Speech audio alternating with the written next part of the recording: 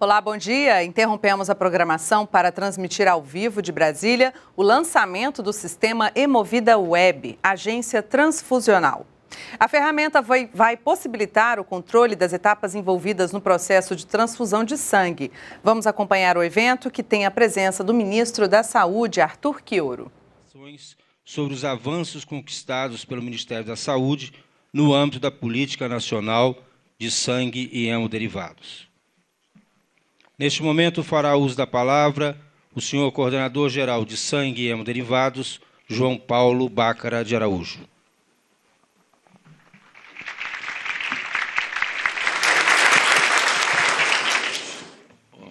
Excelentíssimo senhor ministro de Estado da Saúde, doutor Arthur Quioro, excelentíssima senhora secretária da Assistência à Saúde da SAS, doutora Lumena Furtado, excelentíssimo senhor Arthur Couto, diretor de Biomanguinhos, da Fundação Oswaldo Cruz, excelentíssimo senhor Giliati Coelho, diretor do DataSUS, parceiro da coordenação do sangue, e prezada amiga doutora Júnia Sioff, presidente da Fundação Hemominas, nessa mesa representando toda a hemorrede pública brasileira.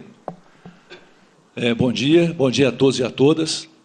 É com muita alegria e muita honra que eu abro essa reunião, mas antes de dar boas-vindas a todos, eu gostaria de licença ao ministro para tecer um pequeno comentário da nossa alegria, da nossa esperança e da nossa certeza de que a política de sangue continuará caminhando como vem caminhando, até um pouco mais impulsionado pelo breve relato que eu vou fazer para vocês. Em 1999, quando se inaugurava a Anvisa, a política do sangue através da COSAR migrou para a vigilância sanitária e lá então começou a, a ter uma participação na, na, na Anvisa através da Agência Geral de Sangue, Tecidos, Células e Órgãos, da Política Nacional do Sangue e da Regulação Sanitária do Sangue. Esse processo perdurou até 2003, até o final de 2003, né, caminhou bem, o sangue avançou muito na questão da qualidade, da eficácia do sangue como produto, mas em 2003, na primeira gestão do presidente Lula, é, houve o um entendimento de que a política do sangue ela não podia se pautar tão somente ou com ênfase maior na questão regulatória, e tinha que trazer um pouco atenção para a atenção à saúde.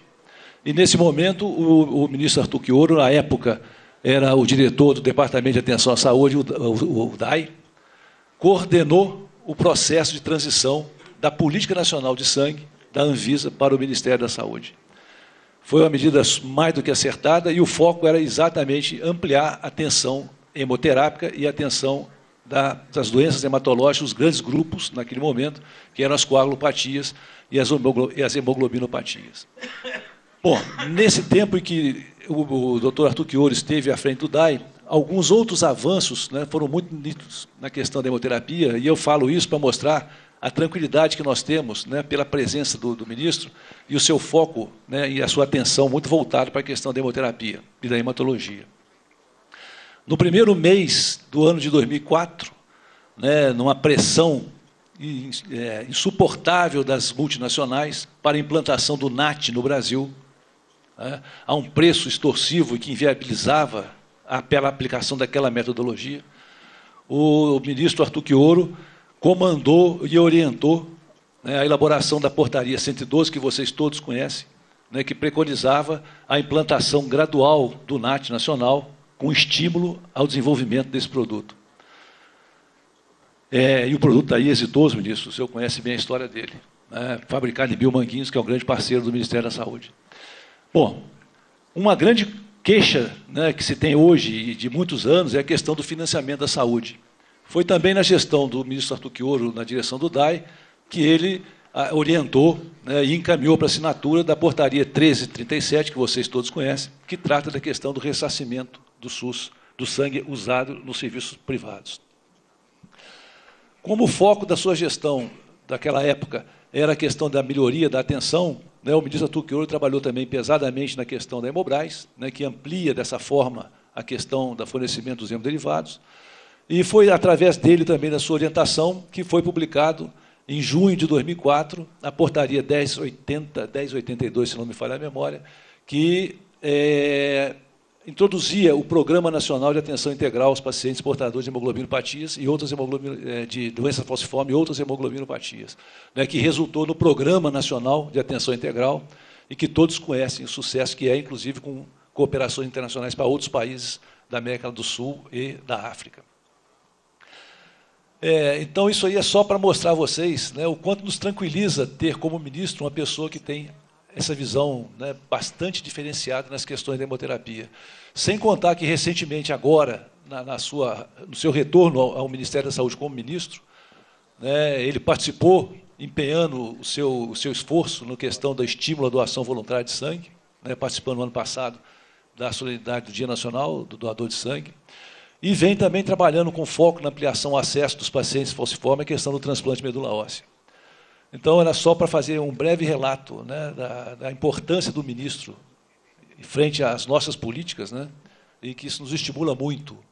E nos estimula muito no sentido de eu conhecer, e me permita, e depois pode discordar se eu estiver errado, da, da, do seu foco na questão do fortalecimento das políticas públicas e nela inserida a política pública do sangue, né, que é uma grande demanda da hemorragia pública, a gente vem perdendo espaços que não deveríamos estar perdendo, e isso também nos tranquiliza muito e nos estimula muito.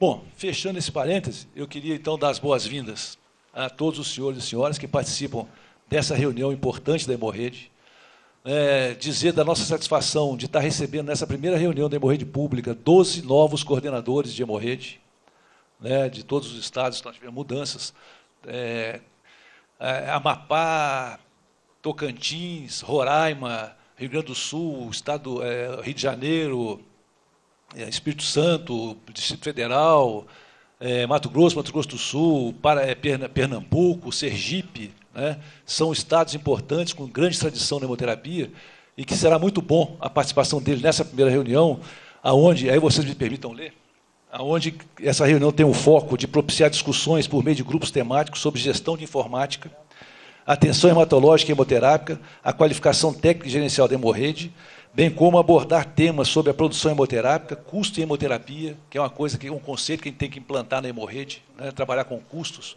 para a gente falar que é caro ou é barato, que o financiamento é suficiente ou insuficiente. Se nós não tivermos centros de custos bem implantados, bem implementados, fica difícil discutir essa questão e trazer essas demandas ao Ministério.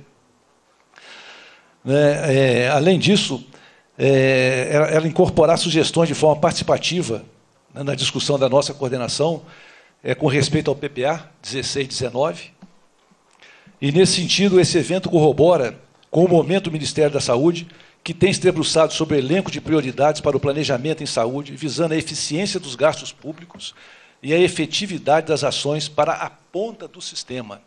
Né, essa é uma cobrança que o nosso ministro e a nossa secretária têm feito, né, a questão de nós, gestores públicos, olharmos para a ponta do sistema né, e não deixarmos é, a nossa visão ficar muito centrada no nível central das, da, da, da, das coordenações, né, tanto a nível estadual quanto federal.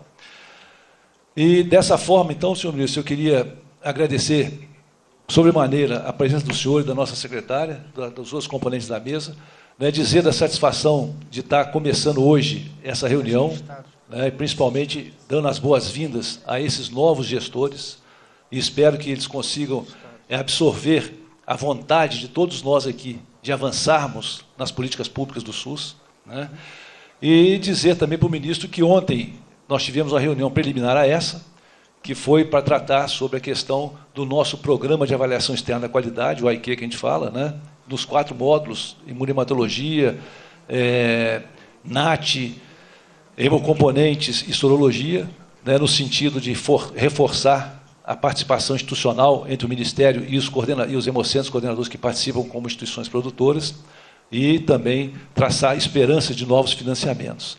Então, eu dou as vindas a todos e a todas, desejo que esses dois dias sejam realmente bastante proveitosos, que a gente possa aprofundar nessas discussões.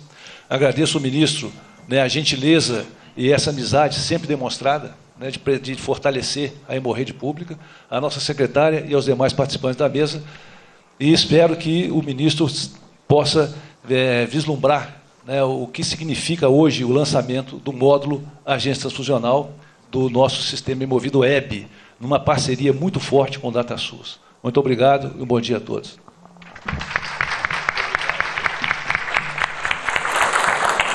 Assistiremos agora à apresentação sobre o módulo Agência Transfuncional Sistema Emovida Web, que será feito pelo responsável da área de gestão de informação da Coordenação Geral do Sangue e Derivados, Diego Lima Quintiano da Silva.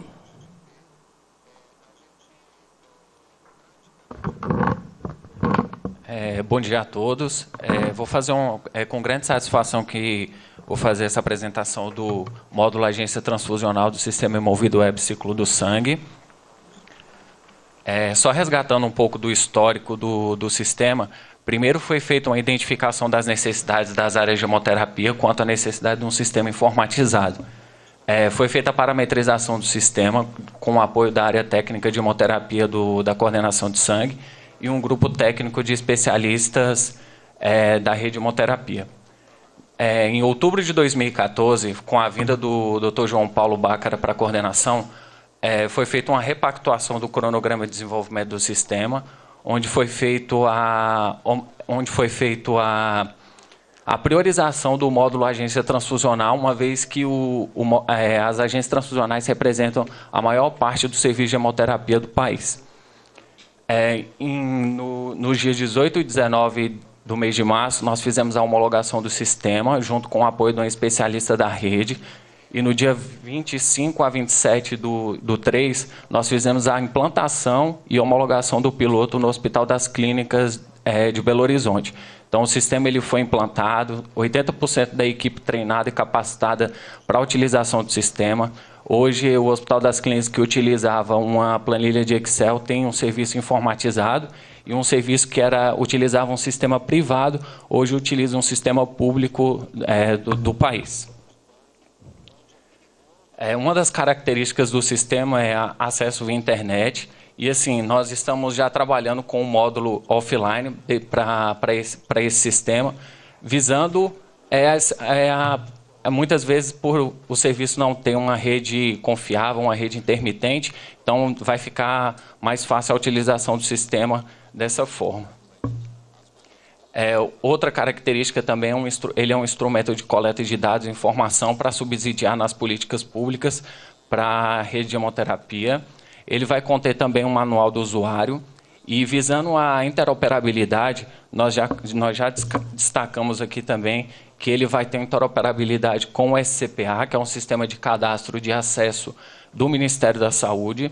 Ele já está também no padrão ISBT 128, com a rastreabilidade das bolsas de sangue e, atualiza e o CENES, que hoje é o nosso Cadastro Nacional de Estabelecimento de Saúde, que é o que nós precisamos fomentar na, na atualização desses cadastros para a utilização do sistema.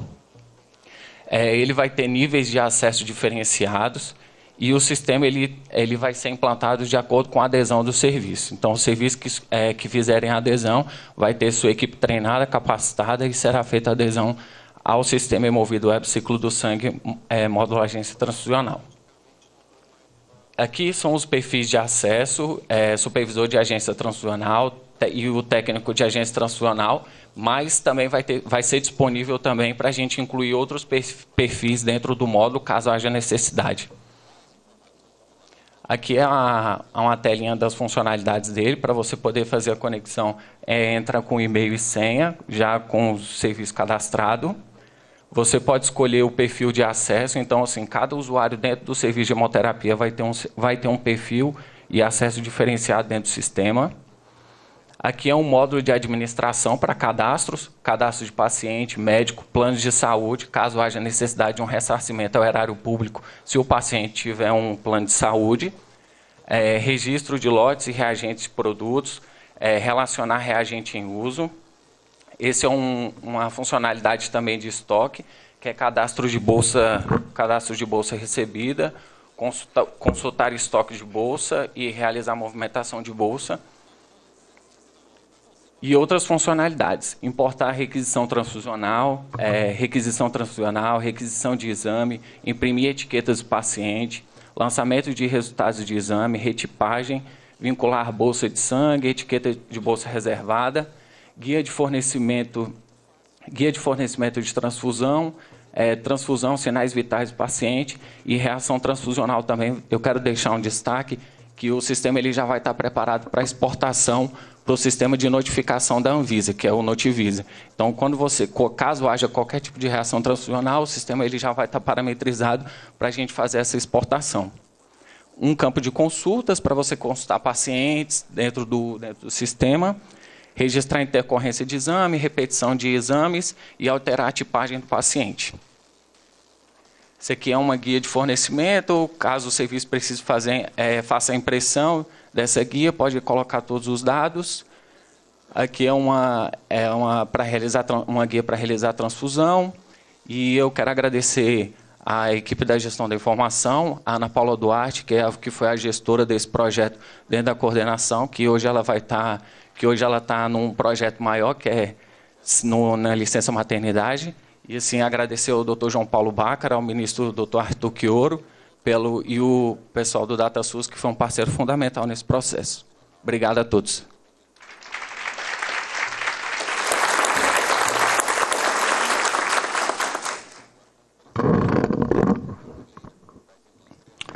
Ouviremos agora o senhor diretor do DataSUS, Giliarte Cardoso Coelho Neto. Bom dia a todos, bom dia ministro, bom dia Bácara, secretária Lumena, doutor Arthur, doutora Júlia, toda, todos os participantes aqui, prazer saudar vocês aqui em Brasília. É, nossa equipe do DataSUS, Elmo, José Eduardo, Jaqueline, que foram fundamentais na montagem desse sistema.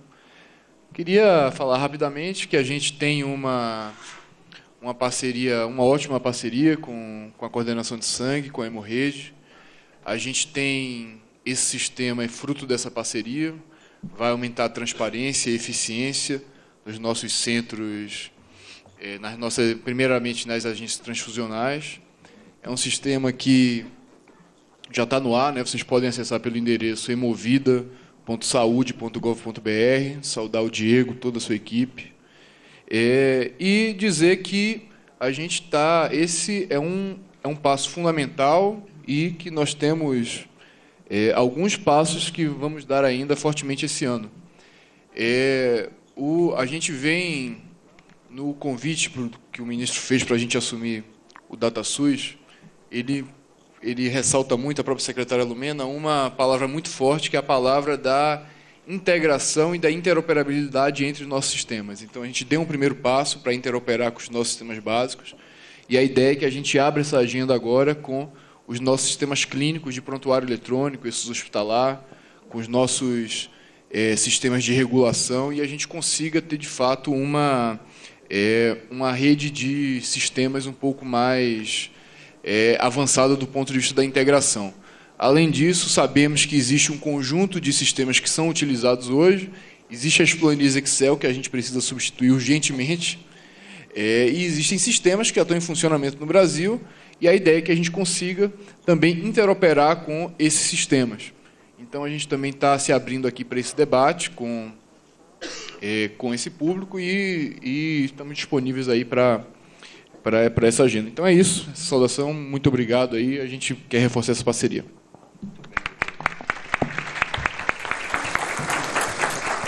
Anunciamos a palavra da senhora secretária de Atenção à Saúde, Lumena Furtado. Bom dia a todos. É uma alegria para a gente estar recebendo vocês aqui nesse encontro da Hemorrede. Queria saudar o nosso ministro Arthur Quioro, que tem um carinho especial por essa área. Obrigada por ter, estar aqui conosco.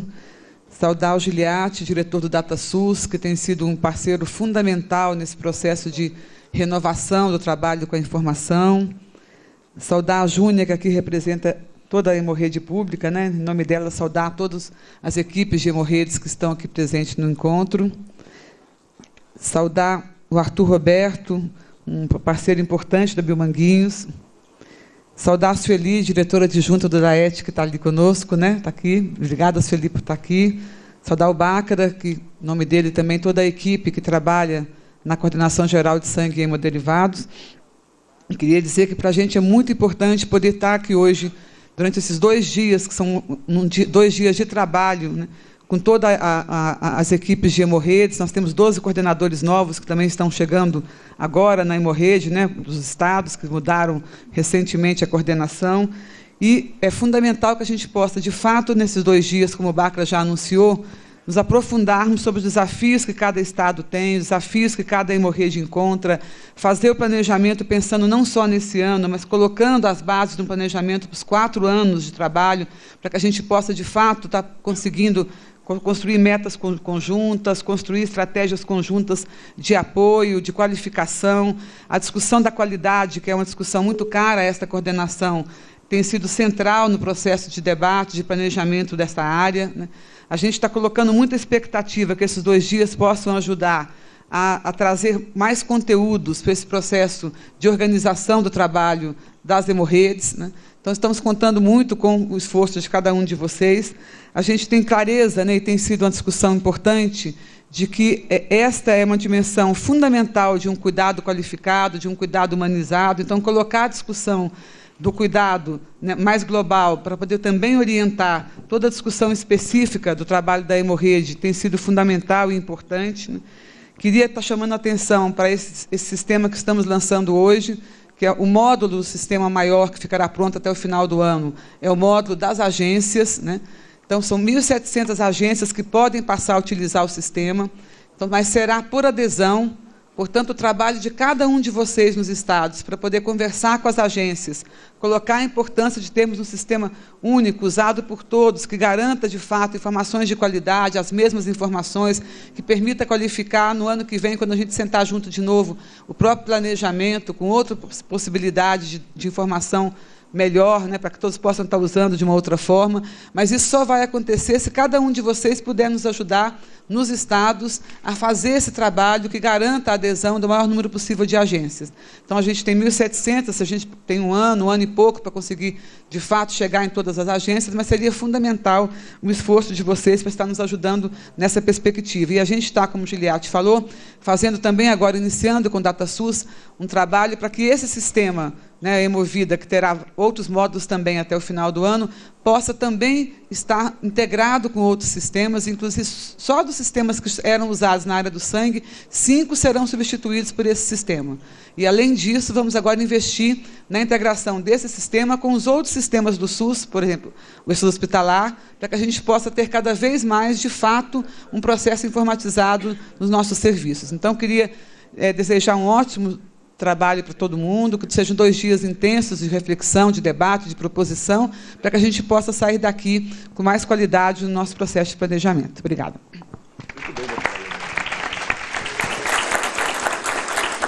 Senhoras e senhores, com a palavra o senhor ministro de Estado da Saúde, Arthur Quioro. Bom dia a todos, a todas. Eu quero manifestar a minha satisfação de estar poder me reunir com vocês é, neste momento. É, imagino que o, o dia de trabalho ontem já foi muito intenso. Nós temos uma oportunidade é, de avançar bastante do ponto de vista do planejamento da nossa hemorrede. Eu sei que esses encontros têm um, um significado muito especial, não apenas porque eles é, permitem trocar experiências, que eles permitem a gente trazer os nossos problemas, mas, acima de tudo, armar da melhor maneira possível o jogo né, da hemorrede para poder atender bem a população, os usuários do sistema de saúde, é, com segurança, com qualidade, que acho que é o objetivo não só de quem atua na ponta, quem coordena as hemorredes, quem coordena todo o trabalho de atenção, tanto na hemoterapia como na hematologia, mas também para nós que temos a responsabilidade de coordenar o sistema e a política de sangue em âmbito nacional. É, eu quero fazer uma saudação à Lumena, nossa secretária, ao Giliati, que nesse pouco tempo que está à frente do DataSUS, né, vem coordenando um esforço muito grande da equipe é, e compreendendo essa determinação.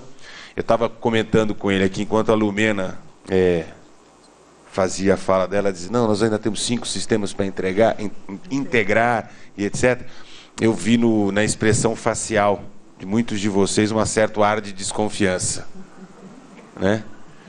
É, e brinquei com o Giliati, você falei, você está vendo a expressão das pessoas? É exatamente isso que nós temos que enfrentar. É, e isso a gente só vai enfrentar com resultados muito concretos.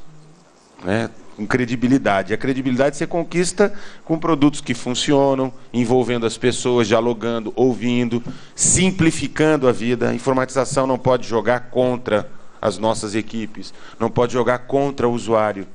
ela tem que ser é, um, alguma coisa que gera potência para as nossas equipes para poder fazer melhor a gestão dos nossos serviços e qualificar. Eu acho que a coordenação de sangue fez uma demanda né, ao DataSUS e o jeito de fazer a demanda ele é decisivo para as coisas darem certo. Se você não sabe muito bem o que quer, você jamais terá um sistema informatizado. Tinha um grande mestre de saúde pública que dizia o seguinte: informatizar a bagunça nada mais gerará a não ser uma bagunça informatizada. Informatização não vai resolver os nossos problemas se a gente não souber o que a gente quer, aonde a gente quer chegar. Mas ela é uma baita ferramenta e hoje imprescindível. Né? Imaginar que a gente controlava sangue ou transfusões por planilhas de Excel é submeter a possibilidade de quem mexe com Excel há muito tempo sabe, a possibilidade de submeter a muitos erros, não necessariamente propositais, né? mas gera uma insegurança, gera retrabalho, gera uma necessidade de supervisão e uma insegurança muito grande. Então nós vamos avançar o mais rápido possível, mas ao mesmo tempo o mais seguro possível. Né? Então, Giliate, eu quero agradecer não só a você e a equipe do DataSUS, mas cada uma das equipes, das coordenações, das diferentes áreas do Ministério, que se põe a trabalhar junto, até porque a área da informática também não faz as coisas sozinhas, né? Ela está sempre trabalhando junto com os clientes. E acho que a fase mais difícil vem sempre agora, que é a fase de uma boa implementação dos sistemas na ponta, nos serviços. Adianta você ter um, um, sistema que responde a todas as necessidades e as equipes não conseguirem incorporá-los é, na dinâmica no dia a dia. Quero saudar o Arthur, meu xará, Arthur Couto, diretor de Biomanguinhos, que tem sido um grande parceiro, não só né, para a política de sangue, mas para diversas outras é, áreas de atuação em que a Biomanguinhos é nossa parceira, a Fiocruz pertence ao Ministério, é né, um orgulho do Ministério. E a resposta. Eu lembro, João, você estava retomando aqui um pouco da história da nossa vida, né? Porque quando o cara começa a contar de 2003, está contando, né? Do tempo que eu era jovem, quase do século passado, né? Por pouco não foi no século passado, muito embora ele tenha começado em 99, né? Mas quando a gente lembra, nós montamos a coordenação do sangue, você me ajudou a montar, né? De fato. E era uma área absolutamente nova, a gente tinha uma, um, equipes muito qualificadas na Anvisa mas naturalmente pelo próprio papel da Anvisa, a Anvisa não tem o papel da formulação da política. É uma agência de regulação importantíssima, né, que cumpre um papel cada vez mais importante do ponto de vista não só da proteção sanitária, mas inclusive participa do desenvolvimento das regras de conformidade do serviço. Mas nós precisávamos pensar uma política nacional de sangue, que vai muito além. Né? Então, quando eu vejo hoje já 2015, portanto, decorrido um, certo tempo em que a gente envelheceu, os cabelos ficaram brancos, né? É, muitas, é, eu olho aqui os rostos, os rostos tentando ver se eu identifico gente que conviveu com a gente, a maior parte é, já renovou, isso também é bom, né?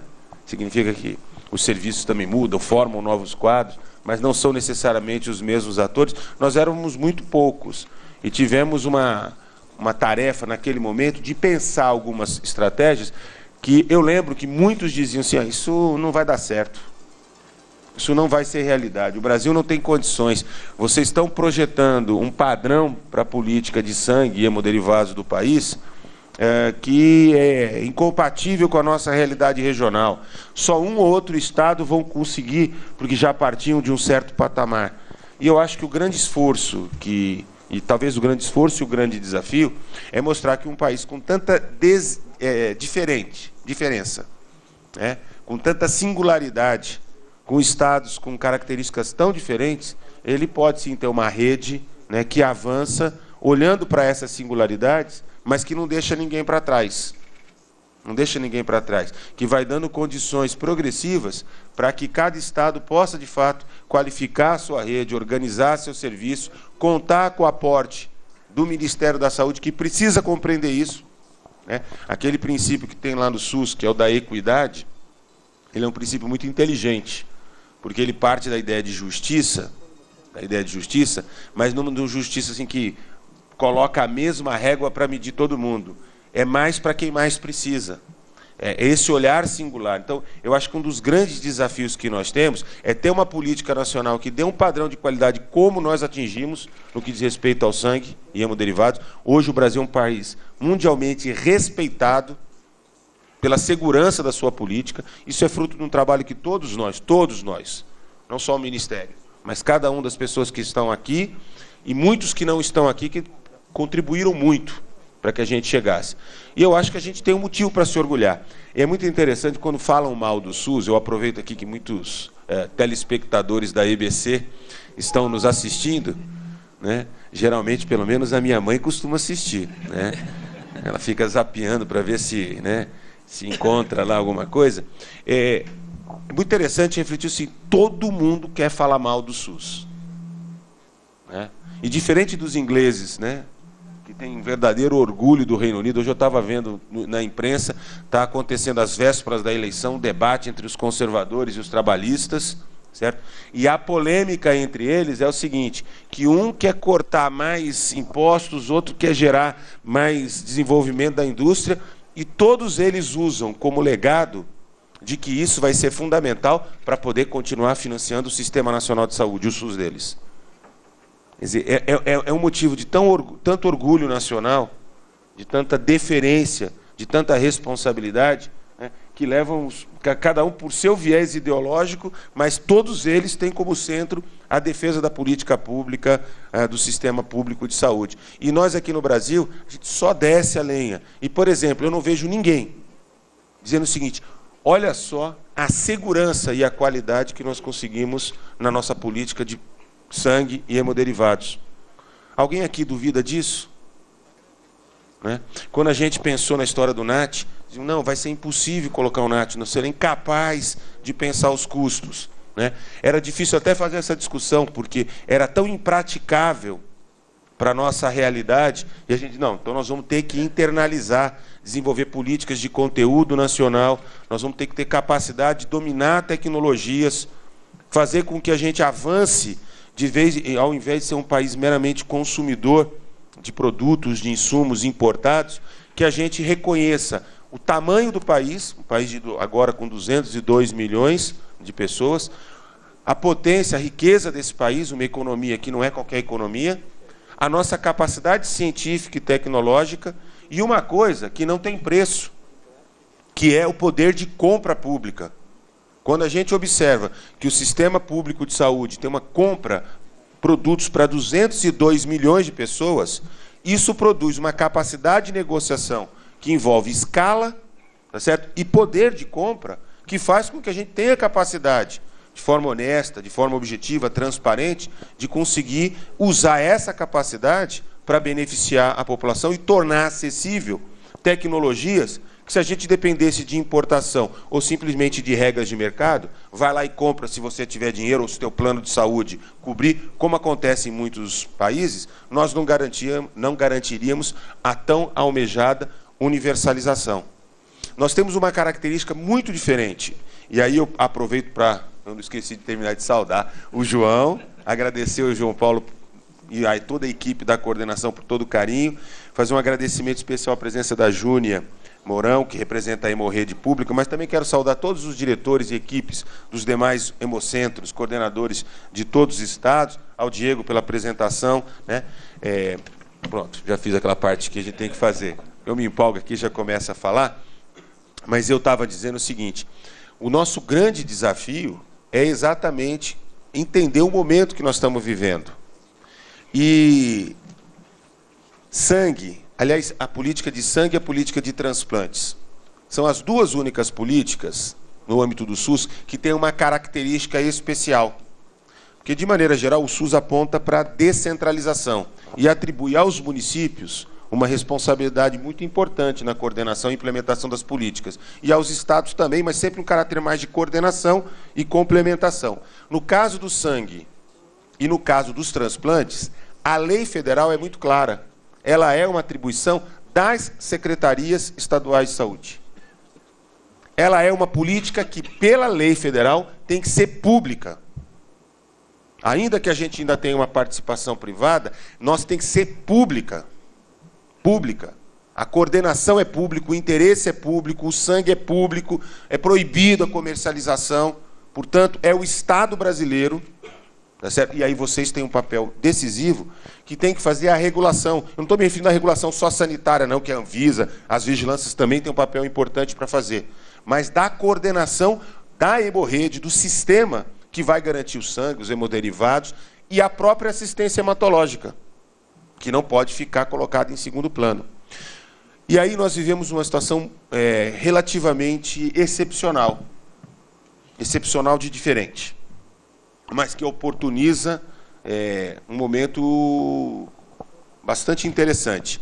Nós nunca tivemos uma renovação tão grande como tivemos recentemente no comando das secretarias de Estado da Saúde.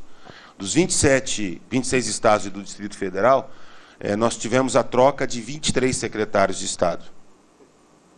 Só quatro foram mantidos. Não existe precedente na história da, do SUS, desses 27 anos de SUS, de trocas tão grande no comando das secretarias de Estado. Isso significa, eu estava conversando um pouquinho antes da gente entrar aqui, aqui na salinha, tomando um café com eles, né? estava dizendo o seguinte, isso significa que a coordenação de sangue, a SAS, vocês que coordenam as hemorredes, terão que fazer um duplo papel, lidar com a transição na hemorrede, porque à medida em que troca governador, troca secretário estadual, em alguns lugares acontece essa troca, então precisa acolher as novas equipes, os novos coordenadores, trazê-los para a participação nessa rede. E, ao mesmo tempo, precisam fazer todo um trabalho junto aos novos secretários estaduais, para que eles compreendam este papel diferenciado que a Hemorrede tem e que o sistema estadual de transplantes também tem. São as duas políticas. Por quê? Porque tem uma lei federal, enfim, tem uma fundamentação é, legal que dá atribuições diferenciadas para o Estado. E eu não sei se isso é muito claro, não só para os secretários, mas para as novas equipes que estão no comando das secretarias de Estado. E é decisivo que elas compreendam, que elas fortaleçam a hemorrede, que elas consigam garantir que esses recursos que são transferidos pelo Ministério da Saúde e os recursos próprios das secretarias estaduais, de fato, cheguem e sejam bem utilizados na nossa hemorrede que ela consiga ter esse papel não apenas de prestação de serviço, porque vocês também têm essa característica, né? Vocês ao mesmo tempo que tocam serviços, vocês coordenam rede e vocês têm o um equilíbrio nessas duas tarefas, nessas duas tarefas, na de prestar serviço e, na, na, e de coordenar os sistemas regionais de saúde. Portanto, eu considero um grande desafio esse momento, desafiador momento que nós estamos vivendo. Então, João, eu acho que era decisivo que nesse encontro vocês discutissem estratégias de planejamento de curto, médio e longo prazo, tá certo? que faz parte um pouco da emenda que você nos leu, mas que vocês também é, pudessem estabelecer algumas estratégias, inclusive eu me comprometo a entrar naquelas que vocês considerarem adequadas, para a gente poder aprimorar esse diálogo com as novas equipes, fortalecer, estabelecer como é que vamos acolher os novos coordenadores e as novas equipes que estão dirigindo os novos os hemorredes eh, nos estados que tiveram troca, porque isso é decisivo. Desculpa aproveitar esse momento, nós estamos aqui talvez mais para comemorar né, o lançamento do sistema Hemovida Web. Né, é, neste componente, neste módulo agora, agência transfusional, nós já tínhamos feito em novembro né, é, o lançamento do anemia falciforme. Está né, rodando bem. Eu tenho tido retornos, inclusive, do, da representação do movimento de pacientes de anemia falciforme que sentiram, é, já sentem na prática, é, em alguns estados onde já está implementado e rodando bem, dão retornos muito positivos. Eu tive uma audiência com eles no final de dezembro e outra agora no final de janeiro, e foi muito interessante é, eles conseguirem reconhecer que alguma coisa que foi feita que já melhora o atendimento. Isso é muito legal. E acho que os próximos módulos é, do sistema Emovida Web, eles vão de fato conseguir garantir uma melhor performance do ciclo é, do sangue como um todo nessa, né, nesse interfaceamento né, é, de serviços, com toda a interoperabilidade que o, que o Giliati aqui no, nos colocou. É, 1.700 serviços que podem ser beneficiados. Por que, que eu estou dizendo que podem? Porque é por adesão os gestores locais vão ter que providenciar esse processo, portanto, essa é uma tarefa também de fazer conseguir não só chegar a essa informação, de fazer todo o processo de implantação e de capacitação das equipes. E isso vai propiciar, propiciar um maior controle dos processos envolvidos na transfusão de sangue, vai facilitar muito a rastreabilidade, isso é importante para a segurança, vai fazer uma integração entre o sistema de notificação de agravos, certo? E o sistema é, que lida com a vigilância sanitária. Então, toda integração entre vigilância epidemiológica e vigilância sanitária é sempre muito bem-vinda, porque ela reforça o nosso, a nossa segurança, reforça a qualidade dos serviços que a gente está falando. E nós estamos falando de mais de 3 milhões de transfusões feitas no último ano no nosso país. Portanto, nós não estamos falando de um procedimento pequenininho, de pequeno impacto. Nós estamos falando de segurança para 3 milhões de transfusões feitas no sistema público tá certo? e nos sistemas que não pertencem ao SUS, mas que se utilizam é, dos nossos produtos. Então, eu fico muito, muito animado com esse encaminhamento que a gente está dando. Eu quero também chamar a atenção, é, aproveitar esse momento, não só, é, João Paulo, para atender a sua provocação, eu acho que já fiz isso, mas quero reafirmar mais uma vez o nosso compromisso com uma hemorrede pública, com a política pública de sangue. Nós não vamos abrir mão dessa perspectiva.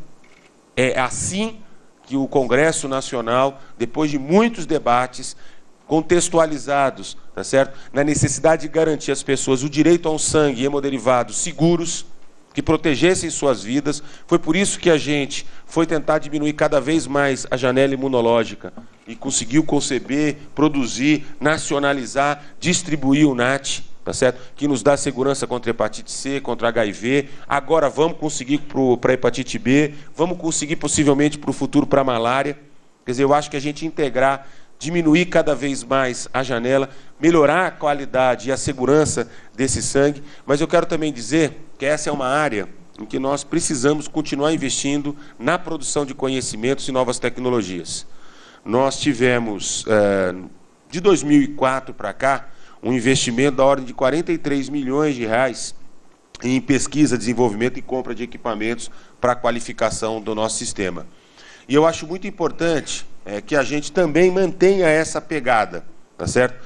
É, entre 2015 e 2016, nós vamos disponibilizar 21 milhões para pesquisas na área. Ou seja, nós vamos colocar quase metade dos recursos que nós colocamos nos últimos 10 anos, nos próximos dois anos.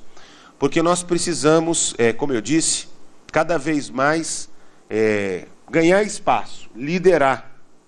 É, do que diz respeito à política de sangue e hemoderivados, o conhecimento científico, a incorporação tecnológica crítica, com custo-benefício muito justificável, centrada nas melhores evidências científicas. Isso é um desafio.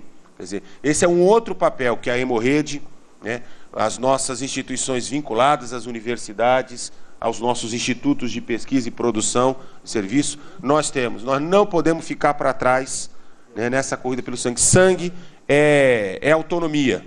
É autonomia não só para a vida, mas é autonomia para um país, para um sistema de saúde.